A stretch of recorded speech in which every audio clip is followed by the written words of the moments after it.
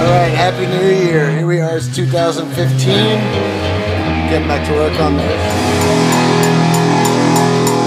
the slide.